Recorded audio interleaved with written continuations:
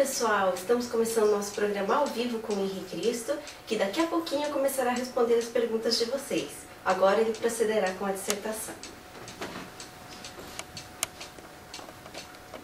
O Pai, eterno e inefável, Deus infalível, Criador do Universo, das culminâncias do Teu reino, do trono do Teu poder, do alto do qual Teus olhos temíveis tudo descobrem, tudo bem. Abençoe Teus filhos com saúde, luz e justiça, porque Tua é toda glória para todo sempre, ó Pai. Agora, meus filhos, que ouvis falar de guerras, rumores de guerras, reino contra reino, nação contra nação, tempestades, terremotos, inundações, pestilências, fomes, conscientizai-vos, é apenas o princípio das dores que anunciei prenunciando o meu retorno. Eu sou emissário do Pai. Reconheço o vosso direito de pensar e dizer o que quiserdes, desde que me respeiteis o direito e dever de esclarecer quem sou. Não escolhi ser Cristo, não posso vos obrigar a saber quem sou, mas isto não altera a minha realidade. Pensais que é fácil, obediente ao meu Pai, andar indumentado assim? Os ignorantes zombando de mim? Ainda que os malignos condenaram Galileu, a terra continuou gravitando em torno do sol. Sol brilha, e mesmo que todos duvidassem, ele não deixaria de ser sol. Assim também, ainda que a maioria dos terráqueos não creiam que sou Cristo, continua sendo o mesmo que crucificaram. Não me é facultado abrir a cabeça do Nécio com um serrote e introduzir-lhe um bilhetinho dizendo acorda-te ignorante, desperta-te, sou ainda Cristo, filho do homem. Somente o demônio, Herodes, possuído pelo demônio, pediu e exige milagres. O maligno disse enquanto eu jejuava dois mil anos, se és o filho de Deus, transforme estas pedras em pão. Ao que lhe respondi, nem só de pão vive o homem. Em verdade, em verdade vos digo, eu não preciso provar nada a ninguém, porque o óbvio é ululante, não carece de provas. Vós, meus filhos, que necessitais provar que sois dignos de meu Pai, Supremo Criador, único ser incriado, único eterno, único ser digno de adoração e veneração, onipresente, onisciente, onipotente, único Senhor do universo.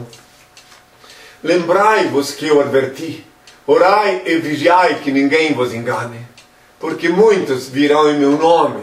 Mateus 24, versículos 5 e 24. Farão prodígios e enganarão a muitos, até os eleitos, se possível fosse. E eles vieram em meu nome antigo, Jesus, enganaram e com fruto da chantagem do dízimo e da venda de falsos sacramentos, compraram emissoras de rádio e televisão.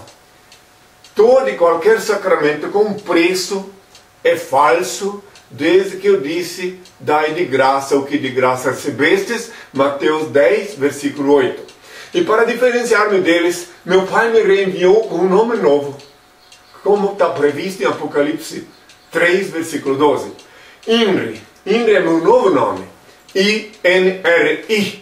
INRI, o nome que Pilatos escreveu acima de minha cabeça quando eu agonizava na cruz, quando cuspiam no meu rosto, quando me humilhavam, quando se cumpriam as Escrituras.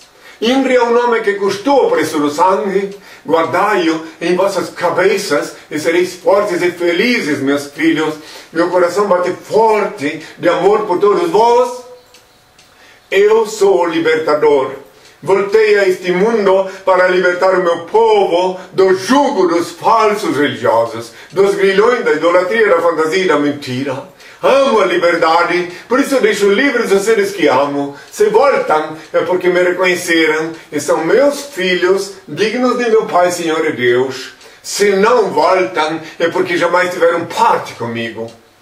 Se veres em mim alguma coisa ou ato aparentemente faltoso e injustificável, o erro não está em mim. Assim na maldosa ótica de vossa visão. Em mim não pode haver erro, porque sou puro e vim sem livre-arbítrio a este mundo só para executar a vontade do Ser Supremo e Perfeito que me reenviou. E quando osai julgar-me, estarei sendo julgados por Ele. Benditos são os olhos que me veem e veem quem sou. Benditos são os ouvidos que me ouvem e me reconhecem pela minha voz. Bem-aventurados sois vós, vós que me escutais, porque só vos falo do que eu escuto do meu Pai que é em mim. Que a paz seja com todos os meus filhos. Quero lembrar aqueles que estão me ouvindo mais vezes, que sempre que o Senhor determinou que eu, pelos novos internautas, devo reiterar de novo a minha condição, minha realidade, facultando-lhes assimilar, porque no mundo atual existem tantas coisas, está estão surgindo cada coisa, entre as quais novas religiões, novos donos de religiões, novos donos de cabresto. Então por isso que ele diz que eu devo recitar de novo, repetir de novo essa dissertação, facultando aos novos internautas, aos novos ouvintes, a realidade. E os que estão acostumados com a bênção de Deus haverão de compreender essa imposição, esse império, império, esse imperativo do Senhor. Tenham todos a minha paz. Vamos à primeira pergunta, que é do Raul Compage. Henri, bom dia. Gostaria de saber se existe possibilidade de uma pessoa que não tem uma característica ou viés místico vir a ter? Deixando de ser menos materialista? Tem, claro que tem. De repente, em uma outra encarnação, se na encarnação, por exemplo, presente, ela estiver ainda atrelada à bitola, aos ditames da matéria, e ela não tiver vontade de transcender, mas um dia ela transcenderá. Ela pode não conseguir agora, porque meu pai diz que é no ápice da evolução humana, o ápice da evolução humana passa necessariamente pelos estertores da carne. Eu conheço casos de pessoas que eram extremamente materialistas e na hora da dor tiveram um lampejo de luz, um lampejo de luz. Então eu mesmo vivi como ateu até 1979, porque eu era profeta de um Deus desconhecido, e foi em momentos especiais, num momento muito especial, que ele se revelou para mim. Porque aquelas pessoas que não creem em Deus, que não creem na vida após a morte, que não compreendem os mistérios de Deus, são alguém como vós que um dia também fostes assim.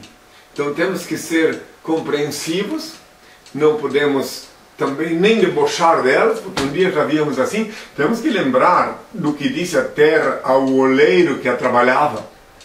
Não me maltrates, um dia já fui como tu. Então aqueles que são materialistas hoje, que são, é, enfim, que não têm acesso à espiritualidade, são dignos de nossa caridade, de nossa compreensão, de nossa boa vontade em lhes conduzir no caminho da luz. Mas não tenhamos ilusões. Não queiramos impor cabresto a ninguém. Não tenhamos ilusões que por causa de, que, de umas palavras bonitas, um jumento vai virar dromedário ou até mesmo camelo. Não. As leis que regem a natureza humana, que regem o, o universo, são eternas.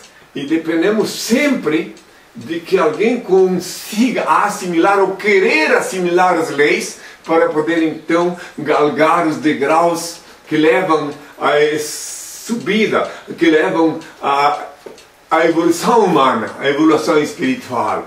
Esses mistérios de Deus são insondáveis, só aqueles a quem Ele concede a graça de adentrar é que podem compreender e ver em êxtase, em simbiose com Ele.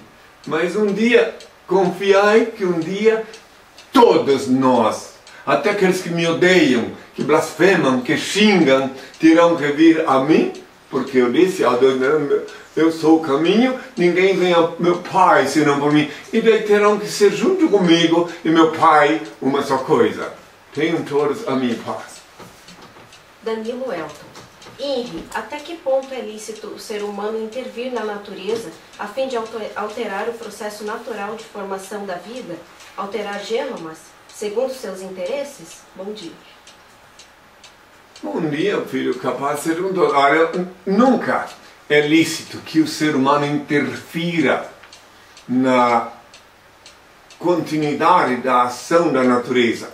Agora, o ser humano tem essa vocação, essa vontade de extrapolar, de transcender os limites que se, lhes são impostos pela Mãe Natureza e pelo Pai Celeste. Agora, quando alguém busca, através da ciência, modificar pelo prazer, pelo orgulho, pelo ego, pelo afago do ego, de eu fiz isto, eu modifiquei aquilo, ele, o castigo é pago pelo preço do pecado, meus filhos. Agora, existem alguns cientistas que são inspirados por Deus, que ele inspira para melhorar a vida na Terra sem prejudicar a mãe natureza, sem prejudicar ninguém. Esses são verdadeiros emissários do Pai, porque a ciência verdadeira ela é, se torna sabedoria. A verdadeira ciência ela é a sabedoria inspirada por Deus.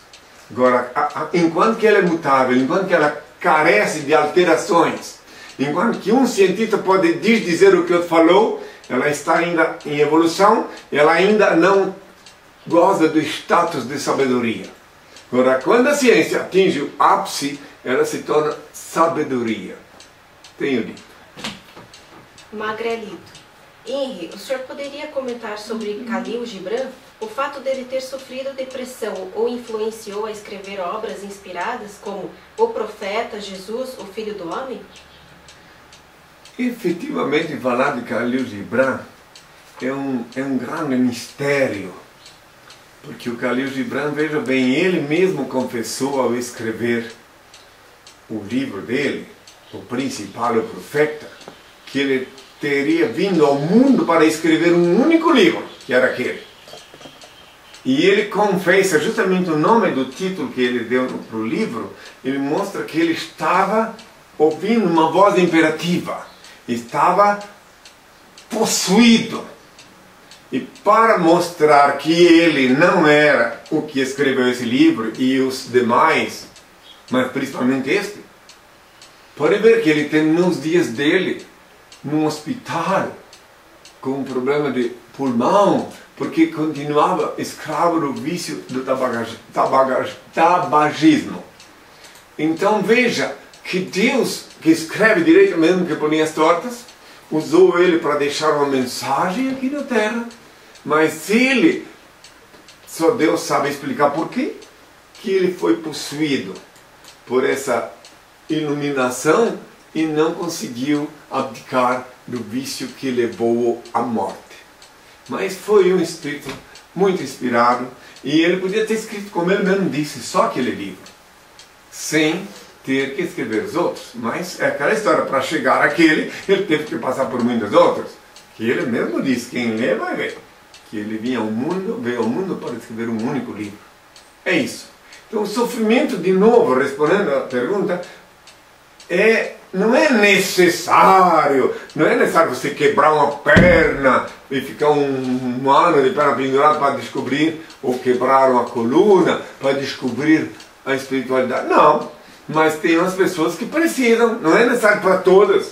Por exemplo, se você vê uma pessoa passar um buraco, enfiar a perna ali naquele buraco e quebrar, você pode ir passando depois por ali e não enfiar a perna naquele buraco pode passar de largo. Né?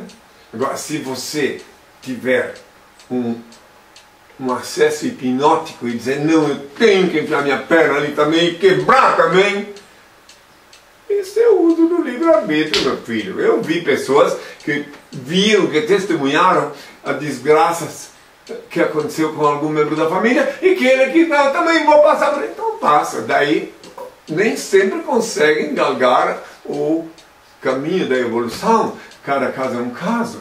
Né? Agora, eu busco ensinar os meus filhos, através de muito sofrimento que eu tive na minha longa caminhada sobre a Terra, se eles ouvem o que eu ensinei, veem minha literatura, eles podem se esquivar de muitas eh, vicissitudes que eu tive que passar para poder reensinar, porque nesta minha vida terrenal, eu tive que conhecer os pecados miseráveis, as misérias desta vida terrenal, para poder livrar os meus filhos, para poder lhes ensinar a sair da rota de colisão. Agora, todos, nem todos levam-me a sério. Então, aqueles que não me levam a sério vão experimentar o amargor, a dor da reprovação que eu passei. Porque se querem. E outra coisa que quero dizer a todos vós que me ouvis: nunca tente inculcar na cabeça de ninguém a verdade. Nunca tente obrigar ninguém a viver a verdade. Pode, podeis falar da verdade, mas nunca impondo-a, porque então qualificado sereis de um fanático. Um, então você pode expor que a verdade existe. Se vê que o indivíduo, não, deixe ele seguir o caminho dele, não fica com raiva dele, não fica com ódio dele, porque não quer saber da verdade. Deixe ele seguir o seu caminho. Um dia ele vai ter que encontrar sim a reta final, o estreito caminho da justiça divina, o estreito caminho da verdade. Quando me chama Jesus, eu disse, buscai o reino de Deus e a sua justiça, e todas as outras coisas vos serão acrescentadas. Um dia todos terão que buscar o reino de Deus para conhecer e desfrutar da justiça de Deus. Tenham todos a minha paz. Viceneu. Um dom está atrelado ao karma e ao destino? Olha, tem a ver o dom, por exemplo, né? Tem pessoas que já nascem, e daí dizem assim, mas inclusive isso aí tem a ver com a reencarnação. Pessoas que já nascem, como se diz na linguagem bem popular, de bunda para a lua, tá? Já nasce assim, num berço farto, já tem uma capacidade intelectual de assimilar as coisas desde jovem, já é o primeiro na sala de aula e as coisas vão seguindo para ele. E daí aí, aí a pergunta que não quero calar: por que, que aquele ali foi tão bem-aventurado, recebeu tantas bênçãos e eu, que nasci na mesma cidade, mas já nasci numa favela? Né? Então aí é que vem a lei do karma, aí vem a, a, a ligação do karma do eh, karma, do destino, e também, também aí está a resposta que ele me fez. Se isto é uma predestinação, se isto é, se o dom é, uma, é o dom sim, porque, mas o dom é uma coisa que se adquire no longo do tempo, e a divina providência concede a cada um de acordo com o misterioso desígnio do cosmos.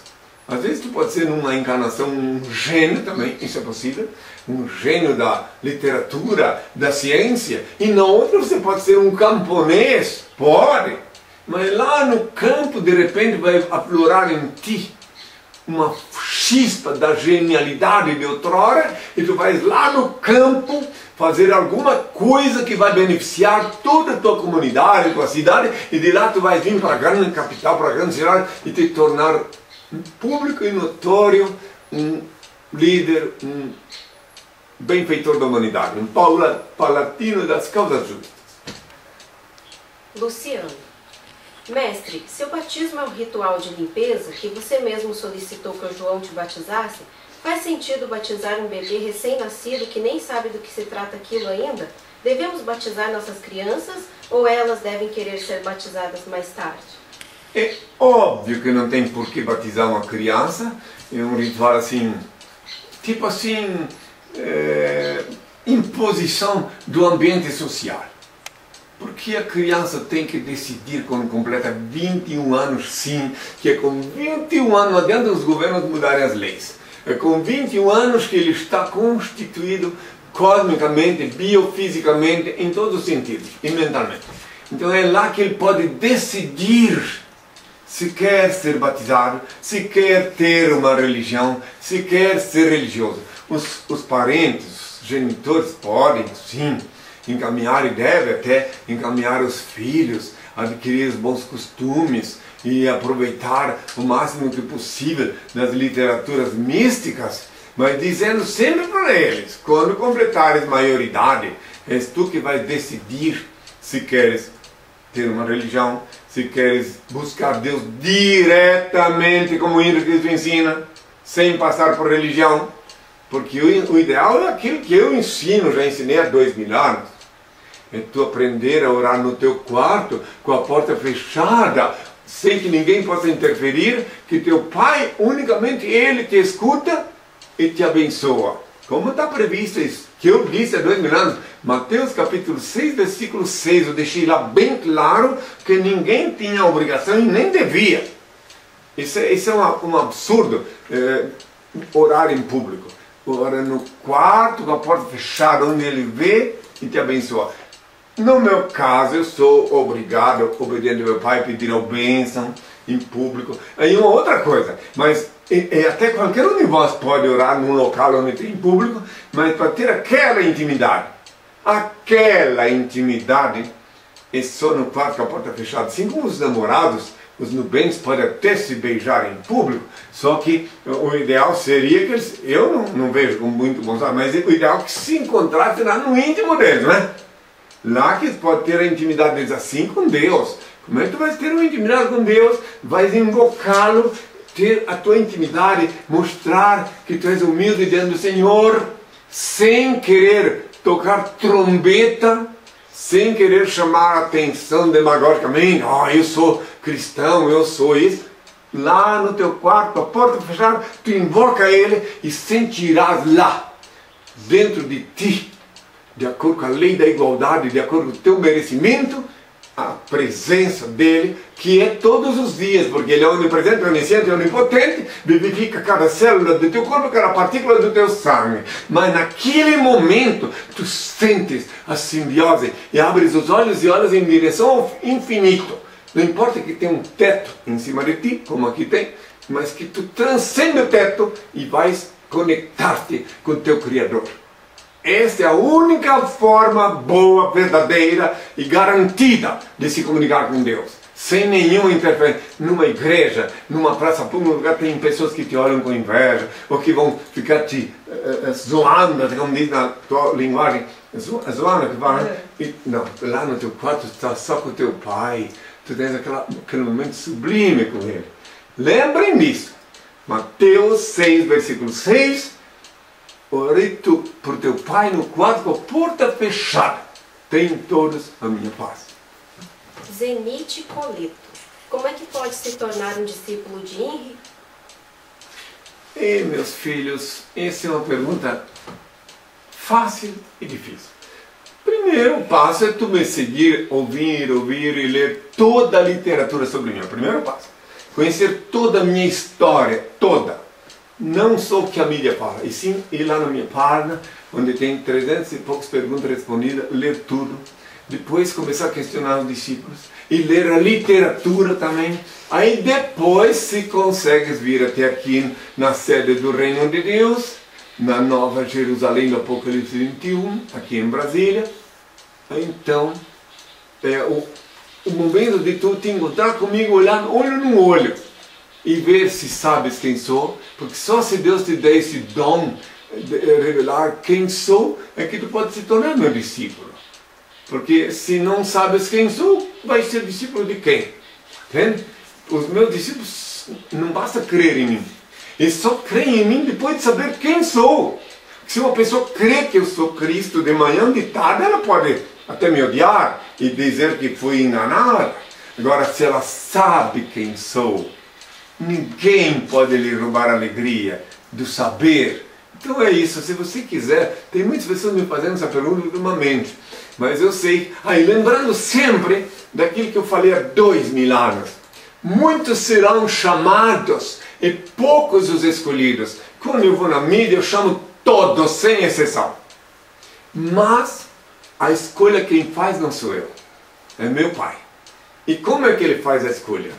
Quando ele revela a autenticidade da minha identidade. Aí o indivíduo começa a sentir o gozo de saber que Deus fez justiça na terra, que cumpriu a promessa de mandar o filho dele de volta. No tempo de, de ouvir falar de guerra, rumores de guerra, enfim, no tempo que o mundo está no jeito que está, que os, as leis estão sendo feitas de cabeça para baixo, são cumpridas de cabeça para baixo, os governantes estão tudo a maioria esmagadora governando de cabeça para baixo.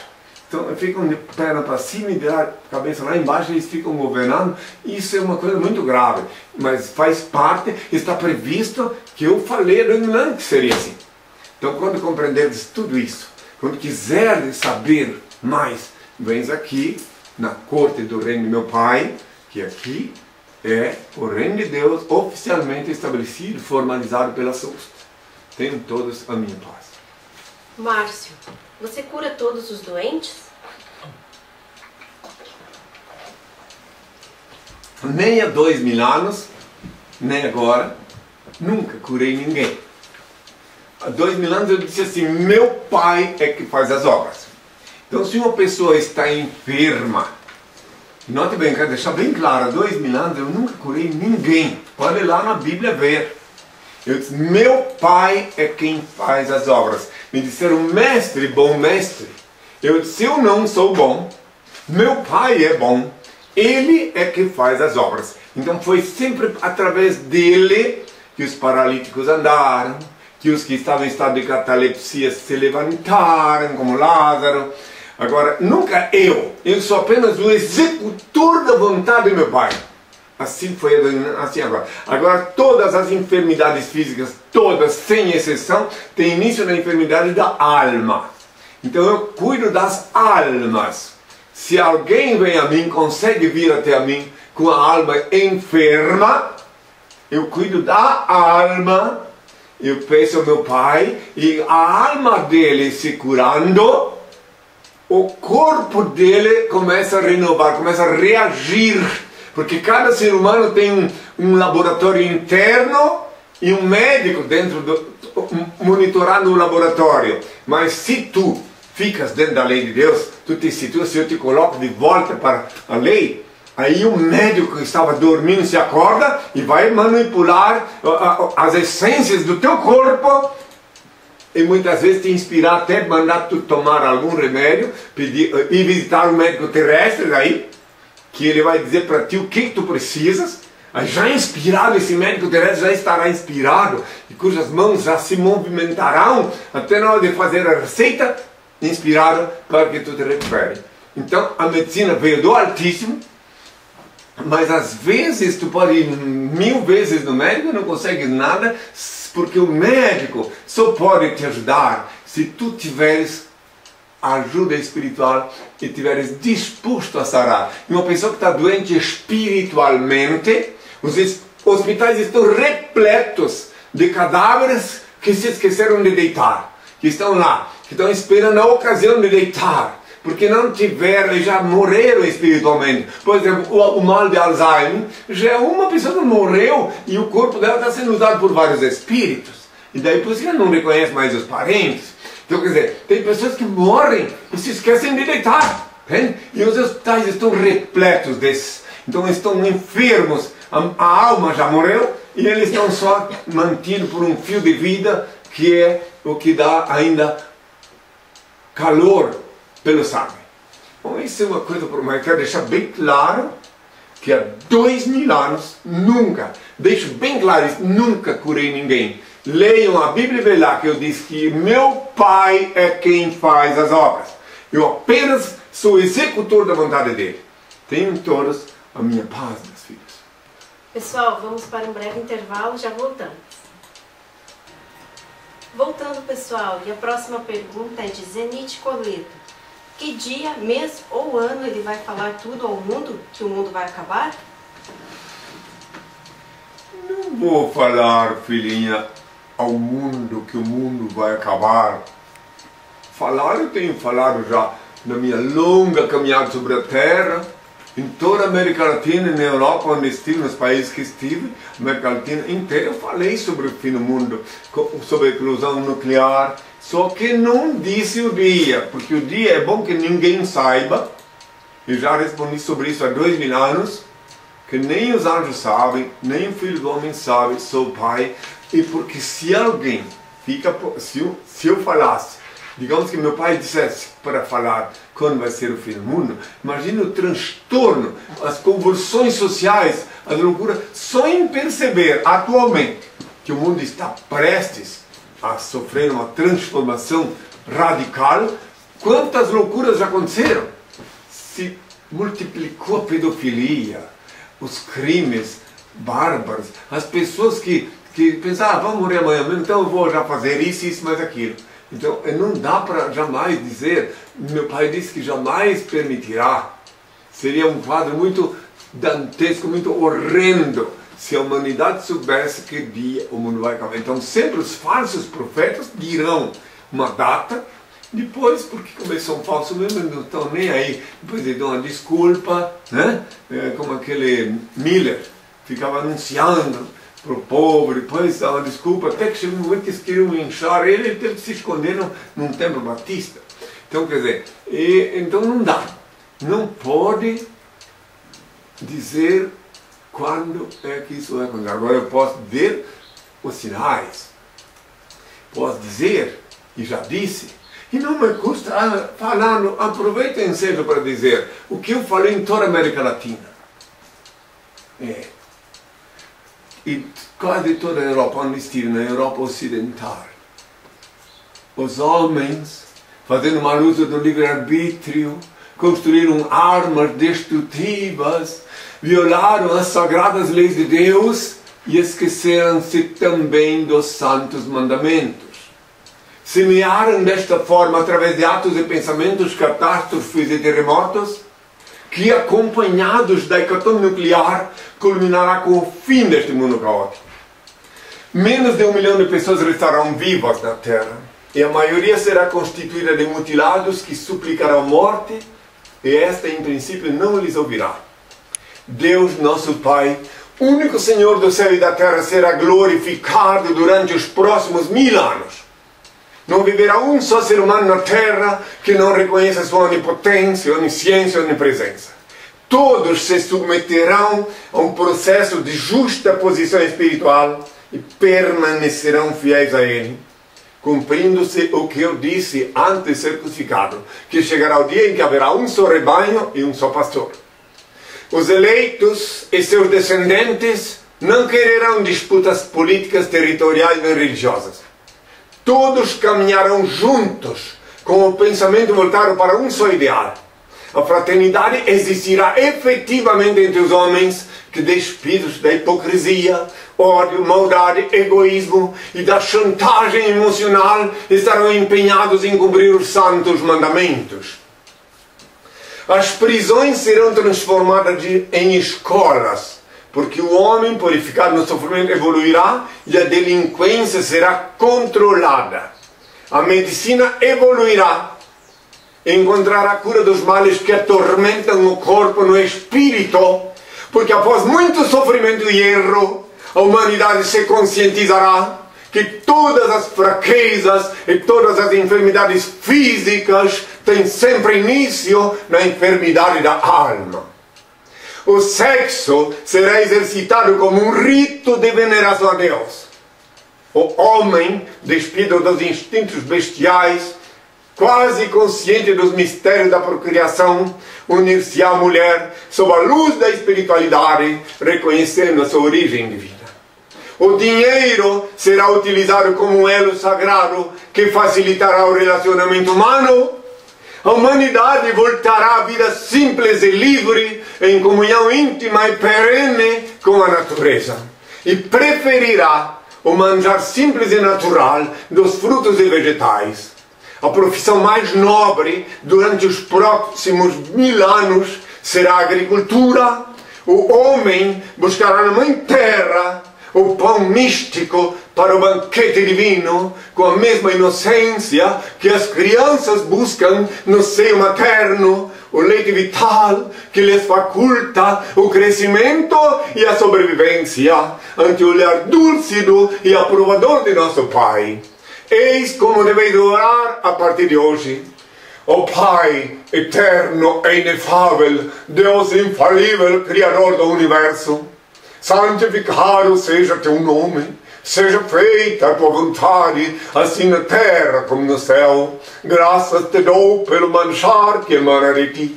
Aparta-me dos erros e ilumina-me, para que eu te sirva sem equívocos, glorificando-te hoje e sempre, ó oh Pai. Bem, meus filhos, tudo isso eu falei em dois continentes. Só que eu era mais, minha, meu discurso era muito mais longo depois de tantas uh, reclamações, quando eu falei que ia haver carros voadores, então fui resumindo meu discurso e sobrou isso aí. Mas haverão sim carros voadores. Só que eles diziam, ah, isso, isso é uma coisa absurda. É, então ficou para trás, ficou só a essência.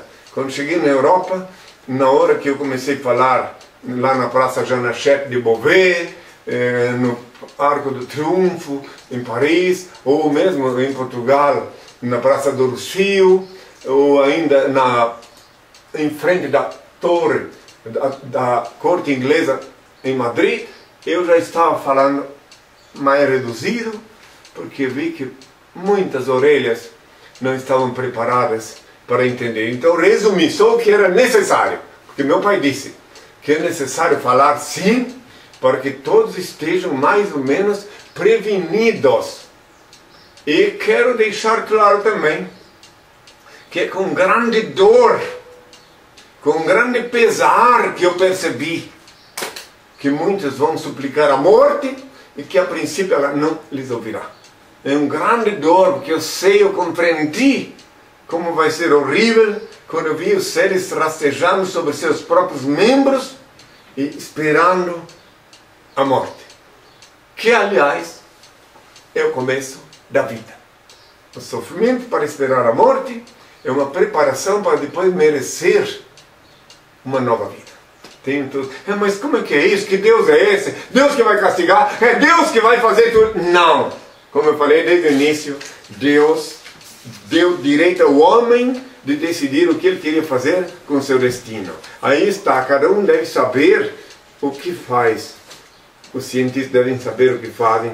Olha, atualmente, os cientistas foram obrigados, dentro da visão deles, de modificar a alimentação, uma série de coisas que estão fazendo, inclusive extrapolando na medicina, mas que Deus permite, porque Ele deu liberdade ao ser humano e liberdade também ao povo de ter cada povo o governo que merece.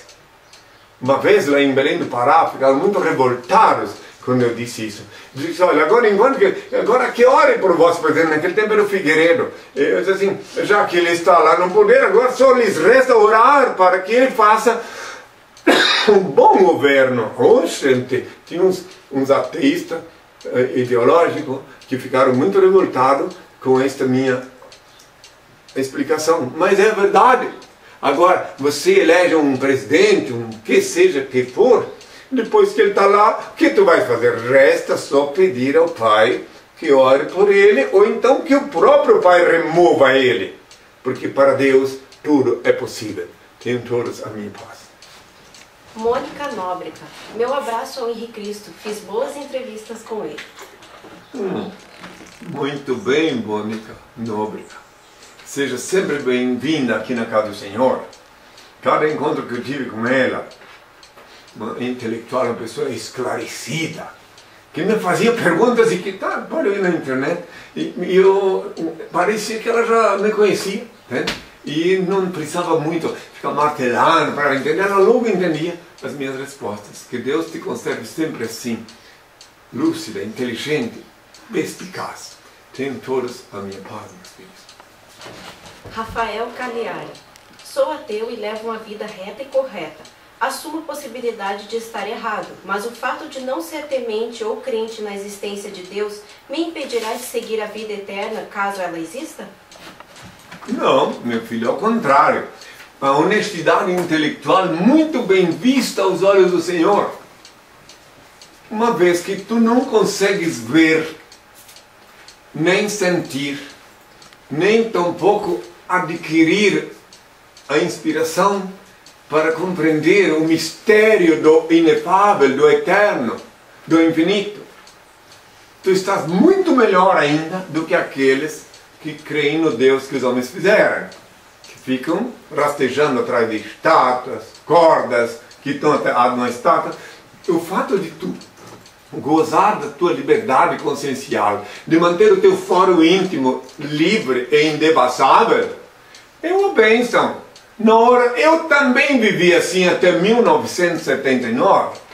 Na hora H, tu podes muito bem, fiques tu sabendo, meu filho, que tu estás enquadrado naquele termo que eu usei há dois mil anos aos olhos dos fanáticos dos escribas, dos fariseus, dos donos da igreja, tu és um pobre de espírito aos olhos deles. Que eu disse, bem-aventurados pobres de espírito, o reino dos céus será deles. Olha bem, por quê? Porque teu espírito está limpo e na, no, na ótica dos donos de cabresto, limpeza é pobreza.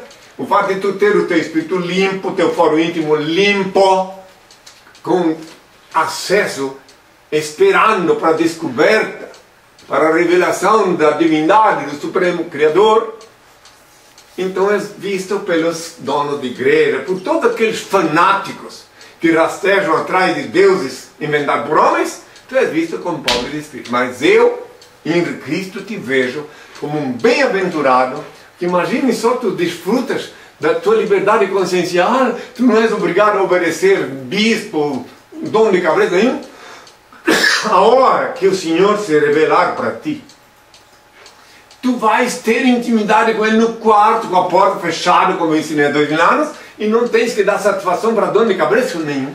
É tua intimidade com ele. Ele vai te mostrar sim e vai se cumprir de novo em ti o que está escrito em Mateus 6, versículo 6, que você deve invocar o Pai e orar no quarto com a porta fechada, sem partilhar. Esse momento tem que ser contigo. Depois, Tu podes até partilhar uma sublime amizade com todas as pessoas que tu descobrires que também procedem assim, tu vai ter um elo fraternal com elas. Mas enquanto Deus não se revela para ti, não tenhas pressa, não tenha ansiedade, porque a ansiedade já é inimiga da espiritualidade e da sabedoria.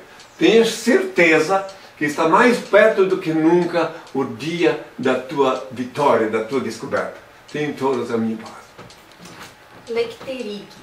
Henry, você conhece os livros do autor Eckhart Tolle? O mais famoso é O Poder do Agora. Se puder, comente. Gostaria de saber sua opinião. Olha, filho, como é o nome da pessoa? É Lecterig. Ah, olha, filho, eh, filho, filha, não conheço esse livro, né? Eu li muito. Eu, minha vida toda tive que ler muito. Mas, sobretudo, antropologia, biologia, filosofia, tudo. mas só que não, esse livro não conheço. Eu vou procurar depois, investigar, mandar minha disciplina investigar na, na internet para ver que livro é esse.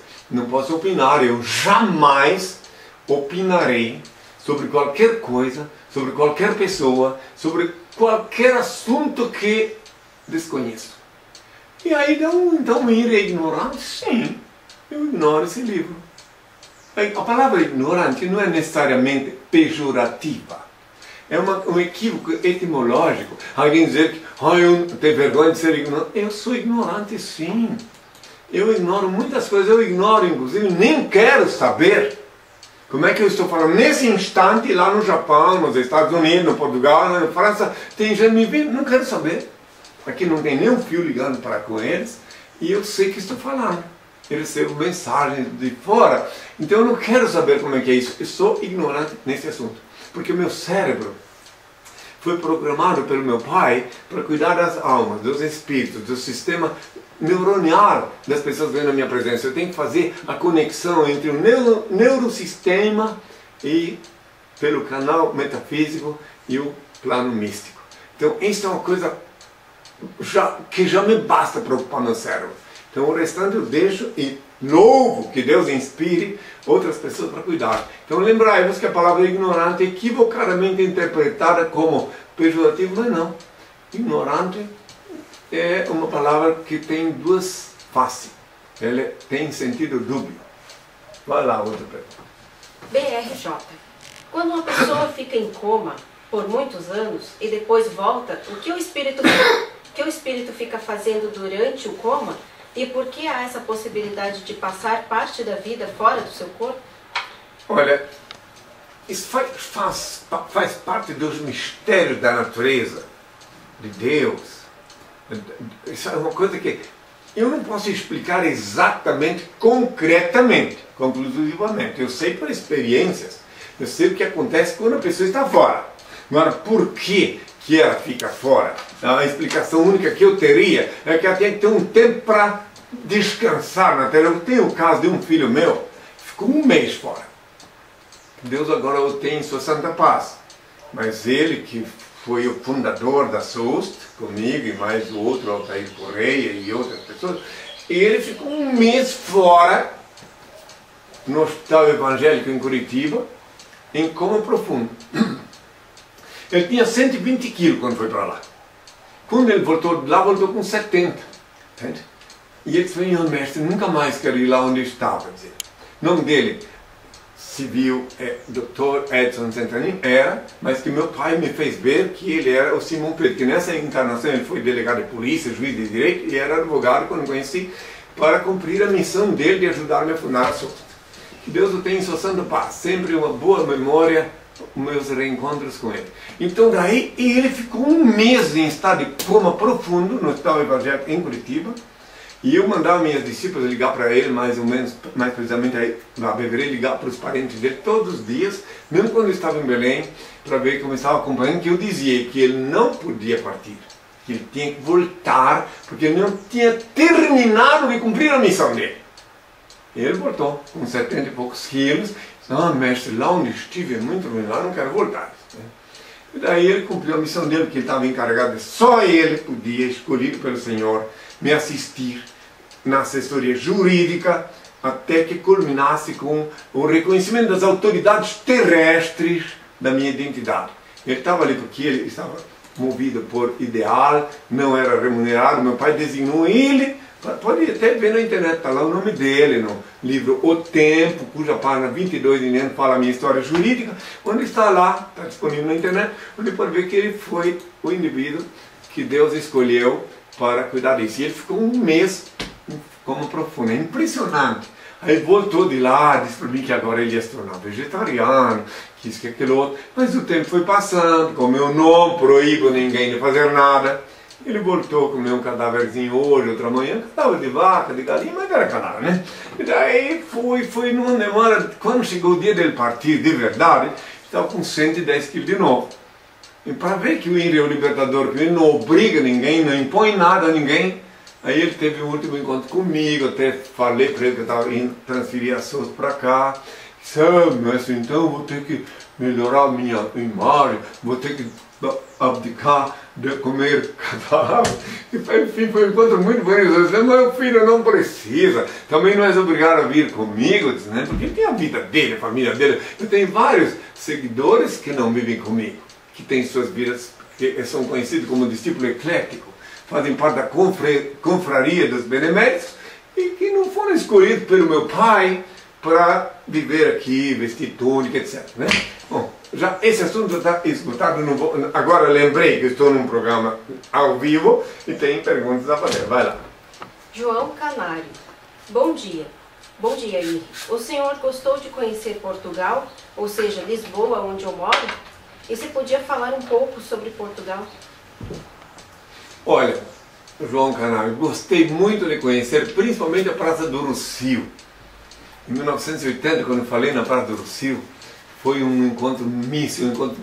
Nenhum lugar do mundo o povo se comportou tão bem comigo como na Praia do Rocio. Dá para escutar uma música voar. Você pode ver na internet nas páginas dos jornais da época. Tem aí na minha página, deve ter ali, né? Tem, né? Tem? Tem, tá lá.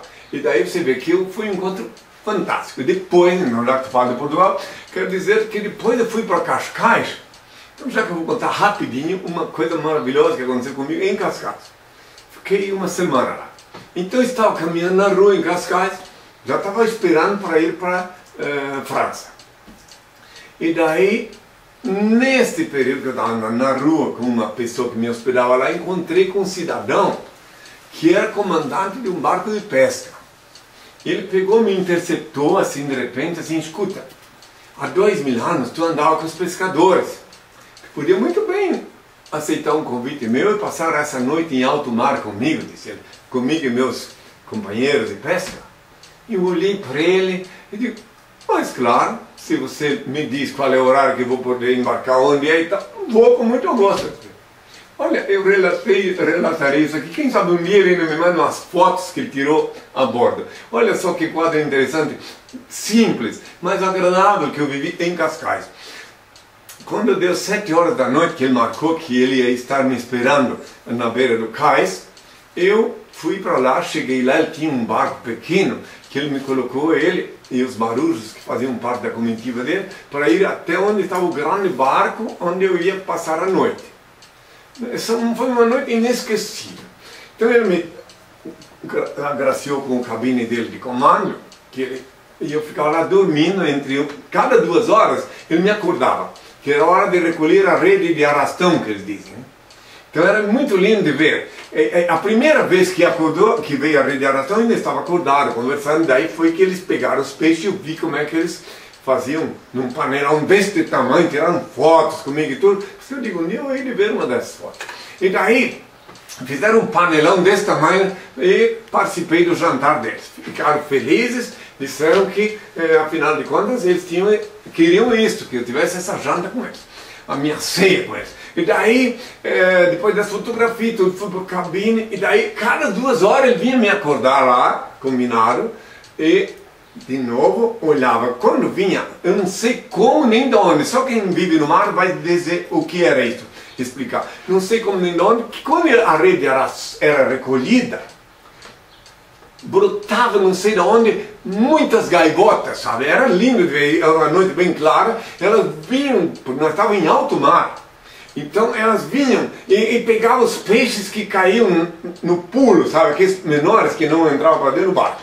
E aí despejavam aquela rede de arrasto. Aquelas duas horas de intervalo entre uma recolhida e outra, era para eles guardar esses peixes todos dentro de umas caixotes grandes, que eles levavam depois lá para o porão do barco, e daí depois eh, esperava a próxima vez. Assim amanhecia o dia em alto mar, daí ele perguntou se eu queria ficar em Cascais, que daí ele ia com um barco em direção a Cascais, ou se eu aceitava ir até Lisboa, onde eles iam despejar todos aqueles peixes lá no mercado. Eu disse, olha meu filho, eu quero voltar, se me dá a opção, voltar para Cascais. Lisboa já tinha estado.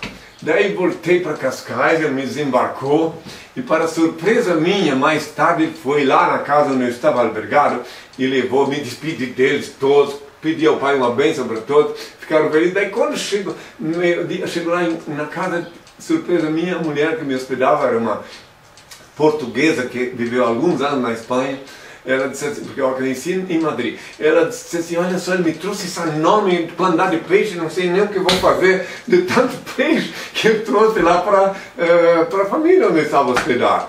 Então, aí, para ti, canário, o primeiro nome dele é? João. João Canário. Essa é a lembrança mais sublime que eu tenho do Portugal, da primeira vez que eu estive lá em 1980, é esta. A última vez que estive lá, na, convidado pela SIC, na, para o programa Noites Marcianas, unicamente a tristeza minha que é que a Praça do Rossi estava em reforma e eu não pude marcar um encontro com o povo lá, que eu queria ter um encontro com o povo lá, na Praça do Rossi. Então não era para ser. Mas falei durante horas na televisão ao vivo como é que é o nome daquele querido que me atendeu lá, que, o, que hoje é na revista? Paulo Chitas. Hã? O Paulo Chitas que coordenou tudo, que fez a organização da minha ida para Portugal e que foi um excelente anfitrião.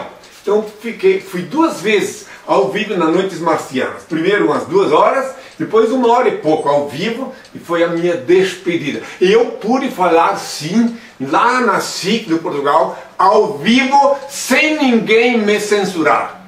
Essa lembrança sublime eu tenho daqueles dias que eu estive em Portugal a última vez em, mil, eh, em 2001, certo?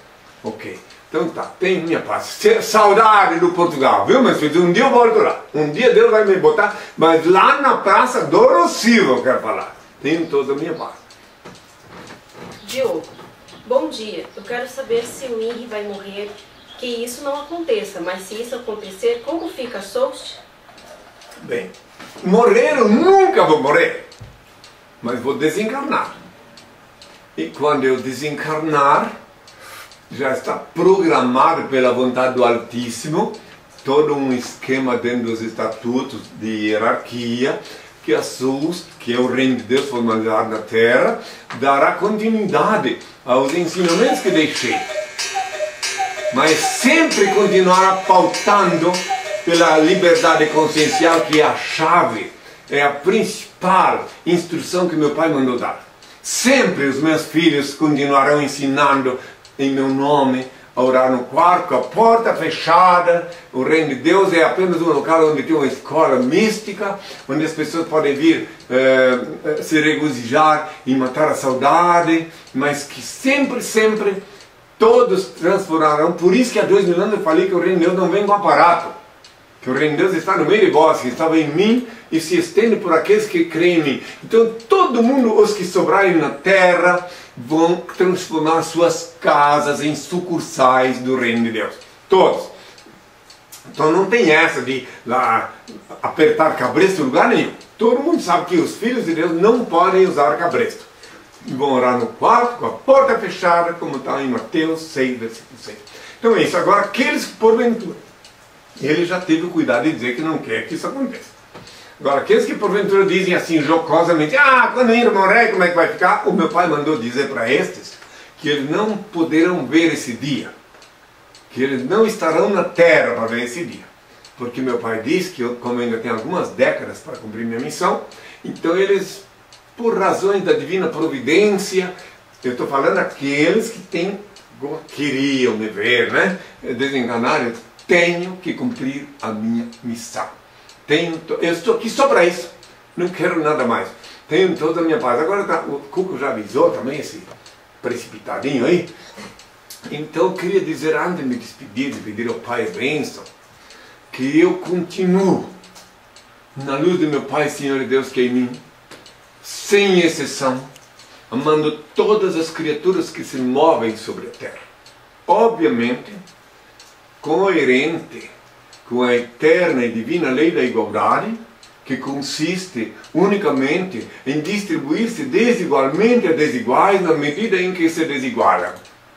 Então, meus filhos, é isso. Lembrai-vos sempre. Eu, como ensinei há dois mil anos, eu sou coerente com o que ensinei.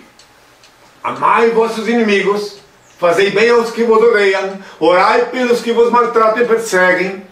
Eu sou coerente eu continuo amando todas as criaturas que se movem sobre a terra. Porque, por quê? As que se movem sobre a terra. Porque ninguém se move sobre a terra se não estiver vivificado pela divina presença do Altíssimo em, suas, em seu sangue, em cada partícula, em cada célula de seu corpo. Por isso que eu amo, na luz do meu Pai, todas as criaturas que se movem sobre a terra. Porque eu amo meu Pai. E se ele mantém alguém vivo se mexendo, é porque esse alguém ainda está conectado com ele. Então eu não posso dizer, não, esse aí eu não amo. Esse aí eu vou deixar, né? Porque aí eu estaria deixando uma parte. Eu não é por questão de ambição, mas eu pretendo sempre ser com meu pai uma só coisa. Pretendo sempre estar com ele, não importa em que país, porque ele é onipresente, sempre estou procurando, obediente a Ele, estar conectado. Às vezes Ele me proíbe de falar de, com alguma pessoa, eu continuo amando, obediente a Ele, eu continuo amando. Tem todos, meu pai, vou pedir ao Pai a bênção. E sábado que vem, na graça do Altíssimo, haveremos de nos reencontrar. Quero dizer à confraria dos beneméritos e a todos os que me ouvem, não importa onde, que nesse momento, às vezes eu brinco, às vezes eu falo coisa porque, afinal de contas, eu sou é, ligado a tudo e a todos. Mas nesse momento, aqueles que precisam de uma bênção podem concentrar-se, pensar, elevar os pensamentos para o Altíssimo e, se conseguirem se conectar, haverão de receber a bênção. O Pai eterno e inefável, Deus infalível, Criador do Universo, das culminâncias do teu reino, do trono do teu poder, do alto do qual teus olhos temíveis tudo descobrem, tudo veem, abençoe teus filhos com saúde, luz e justiça, porque tua é toda glória para todo sempre, ó oh Pai. Que a paz seja com todos meus filhos. Até sábado e até sempre. Uma excelente semana para vocês e até sábado que vem.